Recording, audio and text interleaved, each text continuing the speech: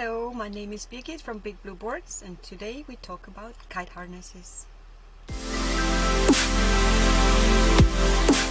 So let's dive in to the most common question according to kite harnesses. Waist harness or seat harness? This will be the first question you need to answer before you get your first harness and in this video I will help you with some input benefits and also negative points for both types of kite harness. Let's start with the seat harness. What are the plus points? What are the benefits of using a seat harness?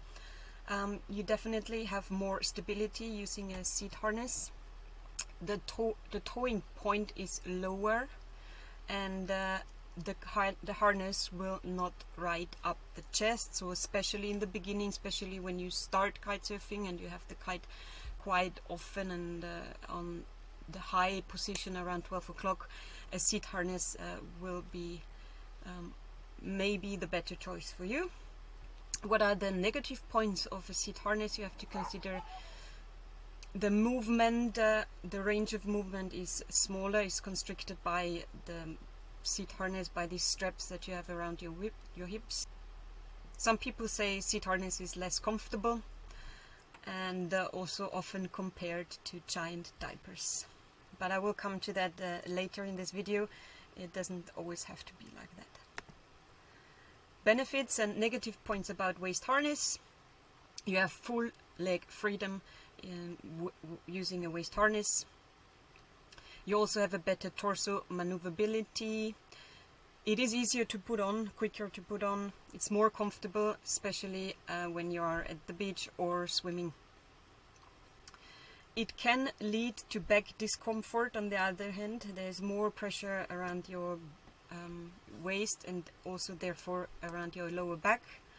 It can cause rashes because it does move more and it also rides up higher on, on your on your hips or also pressing on your rib cage and that can cause rashes especially if you don't wear a rash guard like I have here one. So if you want to ride in a bikini it can uh, be quite painful with the waist harness.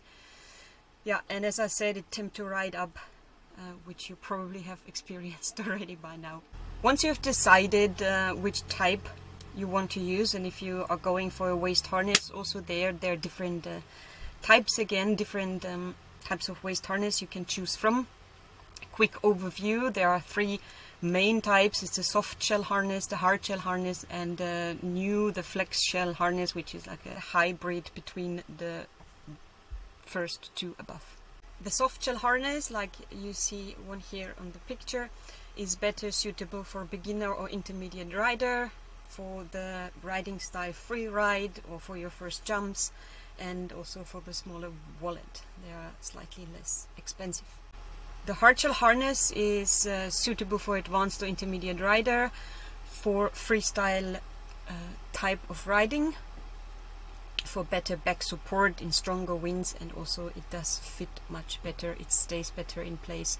Of course it doesn't mean you can't use a hardshell harness when you are a total beginner, of course you can always use a hardshell harness and I actually do recommend to use a hardshell harness.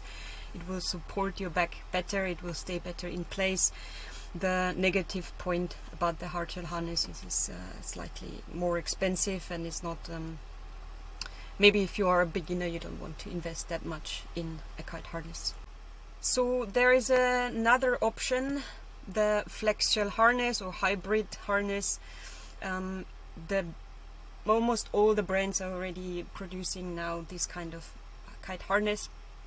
And it is uh, as it says a hybrid between the hard shell and the soft shell. And it comes with almost all the benefits of both of them. It's a very very good compromise between the soft shell and the hard shell harness you find a wide selection on harnesses in our online shop bigblueboards.com we've pre-selected the best kite harnesses for women at the moment on the market and you can choose from all different kinds and shapes, all also different uh, prices of harnesses. And here you can see, like I mentioned before, the seat harness doesn't always have to look like a diaper, they actually look uh, really stylish. like this one from Mystic. The Passion does look really nice, looks like a shorts. So girls, don't let yourself force into a shape that is not yours. Because woman's kite gear matters.